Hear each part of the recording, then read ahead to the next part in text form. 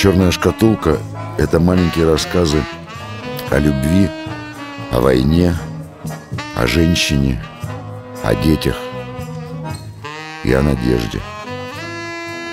Людвиг Ашкенази «Черная шкатулка».